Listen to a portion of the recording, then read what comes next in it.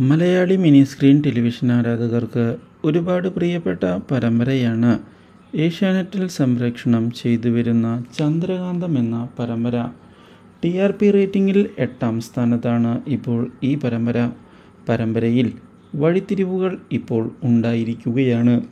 പരമ്പര ഈയിടെ ഒട്ടേറെ വിമർശനങ്ങളാണ് ഏറ്റ് വാങ്ങിക്കൊണ്ടിരിക്കുന്നത്.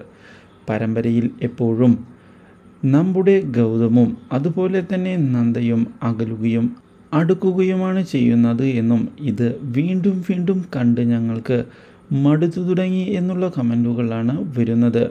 പക്ഷേ ഇതിനിടയിൽ ഒടുവിൽ സത്യങ്ങൾ പുറത്തായിരിക്കുകയാണ്.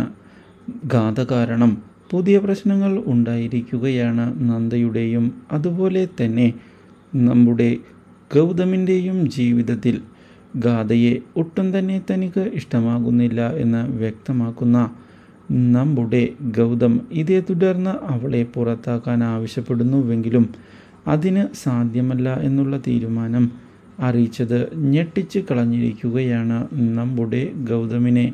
ഇതോടെ ഗൗതമും നന്ദയും തമ്മിൽ പ്രശ്നങ്ങൾ വഷളാവുകയും ഇതേ തുടർന്ന് ഇനിയും ഒന്നിച്ചു പോകാൻ സാധിക്കുകയില്ല എന്നുള്ള കാര്യം അറിയിക്കുകയും ചെയ്യുകയാണ് അവർ. ഈ കാര്യം കേട്ടതിനെ തുടർന്ന് ഡിവോഴ്സിലേക്ക് കാര്യങ്ങൾ വന്ന് ചേരുകയാണ്.